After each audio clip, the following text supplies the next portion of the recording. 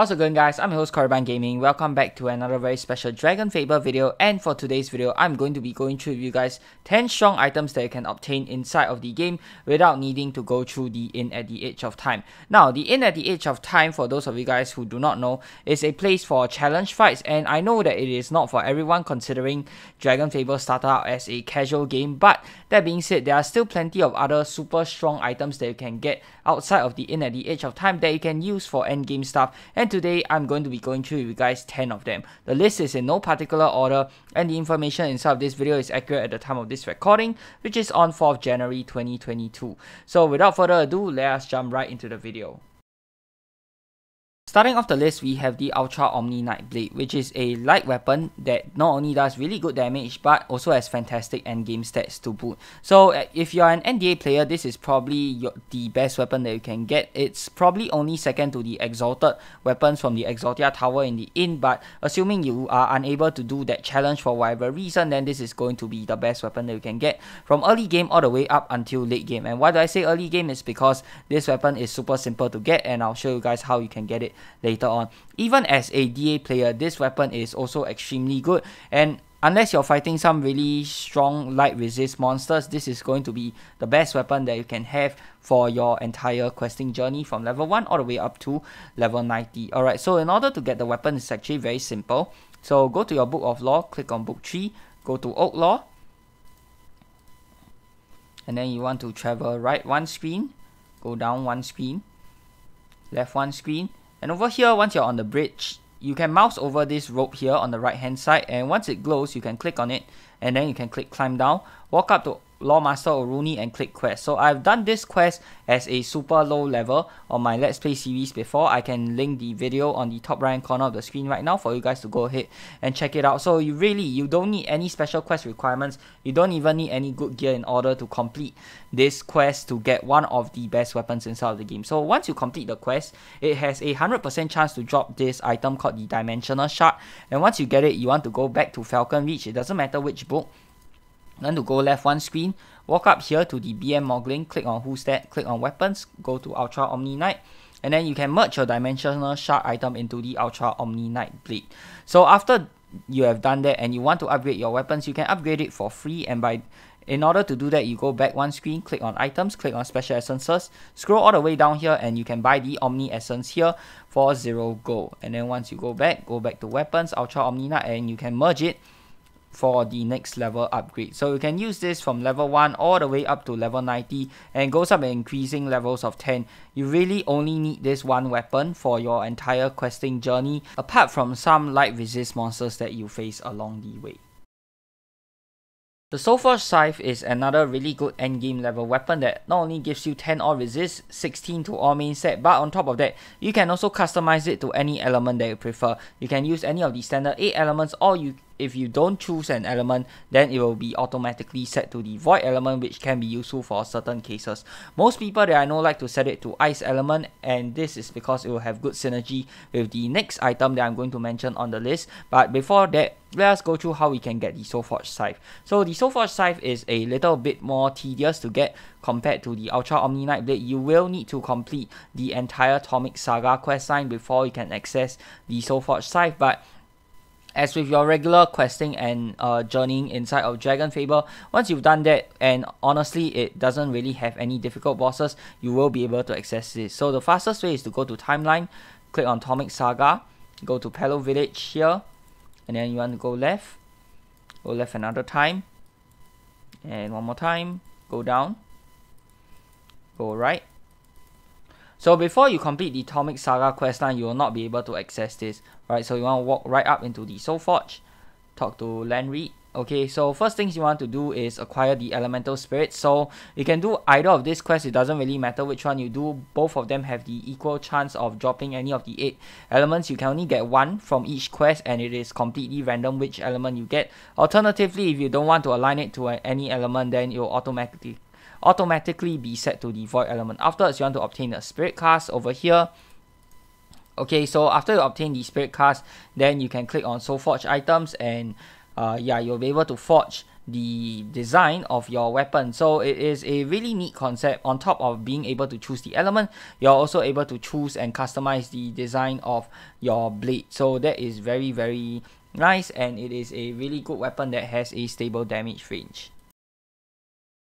The next item on the list is the Ice Scythe. So this weapon is statistically weaker than the Soulforge Scythe if you're comparing stats, but we are not really using this weapon for the stats. Rather, we are using it for its slotted special, and of course this feature is only available to DA players. But why you want to use this slotted special is because it has a 7% chance on hit to inflict minus 30 ice to your opponent for 3 turns inclusive. So this is what makes it so good. You can basically get free extra 30% damage bonus if you're using an ice weapon. And most people like to pair this with Soulforge Scythe uh, by aligning Soulforge Scythe to ice element and then slotting the ice Scythe special in order to get a really strong ice weapon attack. So in order to get this weapon, you can buy it for gold. It costs 12,000 gold. In order to get it, you want to go to travel map on book 3.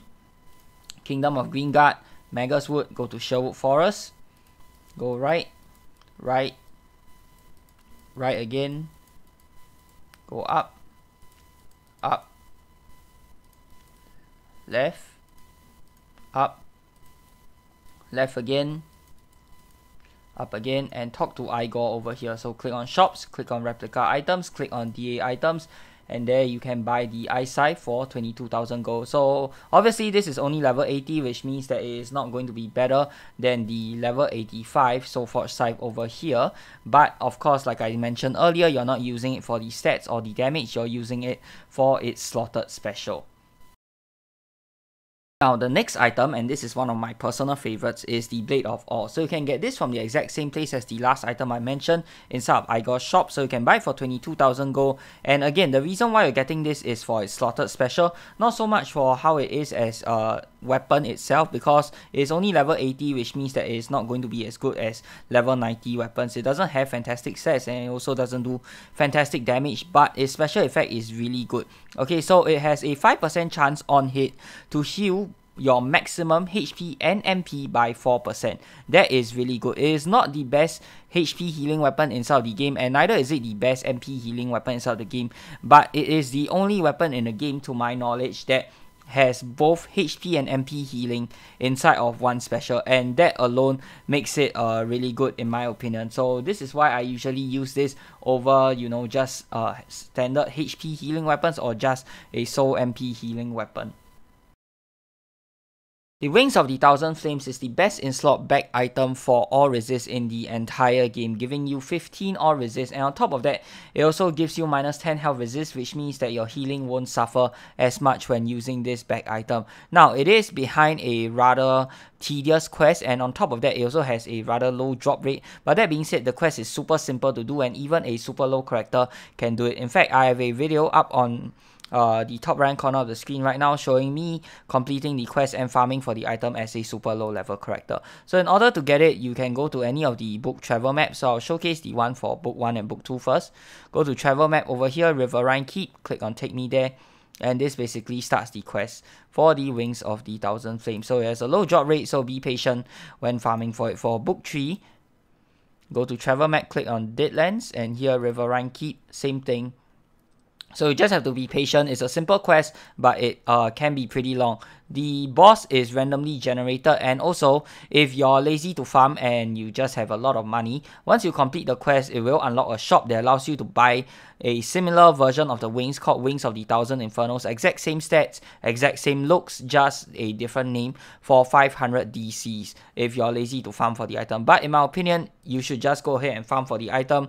Even uh, with a very low drop chance, it only took my main character about over an hour to get it and my sub character, my orc character, for my Let's Play DragonFable series about 45 minutes to get the wings. So honestly, it's really not too difficult to farm for. And once you get the wings, you can basically use it from early game all the way up to late game. The Hidebehind is the best in slot defense as well as healing cape inside of the entire game. On top of giving you a whopping 20 BPD and 40 MRM, it also gives you extra 20% to your healing with its minus 40 to all resist and plus 20 to health resist. This is really good if you're hiding behind a shield and using a health pot or using your healing skills. In order to get this item inside of Book 3 Falconreach, you want to walk right up to Serenity's Inn.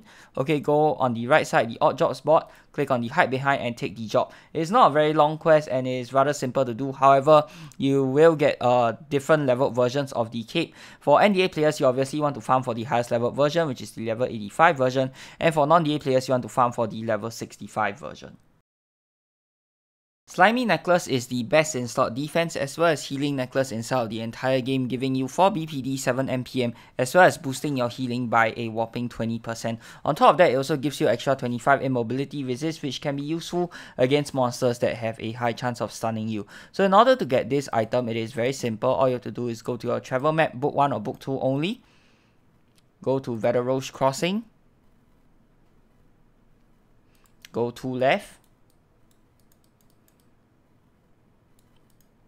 go up into this house and click on the Cullen Extraordinary quest. So once you complete the quest, you will have a chance of getting different level versions of the necklace. Obviously, whether you are a DA or a NDA, you want to farm for the level 75 version, which is the highest level version of the necklace.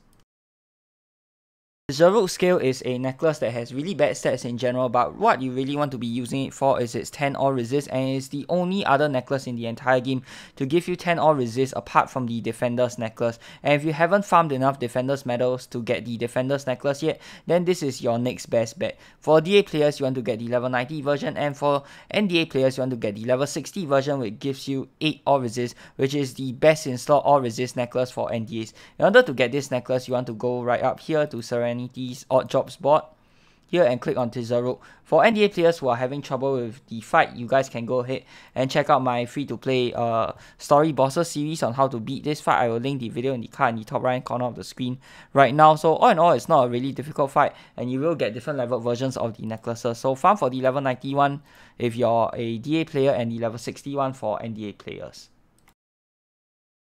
Ogorek's Treasure, while no longer being the best in slot belt for healing, still provides really good healing at an extra 5% healing by giving you 5 all resist and minus 10 health resist. On top of that, it also gives you decent defenses like 6 BPD as well as 6 MRM, which can be helpful if you're healing behind a shield. In order to get this item, you want to go to Book 3 Travel Map, head on over to Kingdom of Greenguard, Oaklore, go to Sulan Eskar, and then go up to Kara, go back down, talk to Mrita, pass quests, go up to Kara again and do the border prison quest. So it is not a 100% drop. You can get a few other different level belts from the quest, but the one belt that you want to farm for is obviously the Ogorek's treasure. Last but not least, we have the Stan the ScanOrb Pet. So this is a pet that does no damage, but it's very versatile in the sense that if you're above 50% HP, it can inflict the enemy minus 15 or, which means that this boosts your outgoing damage by 15%. And on top of that, if the enemy has any immobility resist, you will be able to stun the enemy even easier after using Stan the ScanOrb skill. And the second skill only activates when you're below 15% HP and that is the orb will inflict you with minus 15 to your health resist boosting your healing by 15%. Alright so in order to get this pet you want to go to book 3 travel map head on over to Kingdom of Greenguard, Oaklore, Sulan Eskar. So it's basically the same place as the previous item. Head on over to Kara, go down, go to Mrita, and then you want to do the Star-Crossed quest. So Star-Crossed over here. So do this quest and it is a 100% chance to drop the Stan the ScanOrb Pet. So that's it guys, my top 10 strong items in DragonFable that does not require you to do the Inn challenges. Let me know what you guys think down in the description below of my list. Do you agree or disagree with the items that I placed in the list? Do you think a certain item should be in there or do you think certain items should not be in there? I would love to hear your comments and as always, do give me suggestions for future video ideas and I'll be sure to look through all of them and do videos on them if I really like your idea. Hope you guys have enjoyed the video and if you have learned something from it, be sure to give this video a thumbs up. And of course, subscribe to this channel if you guys would like to see more such future content. Till the next time, I'm your host, Korriban Gaming. Peace out.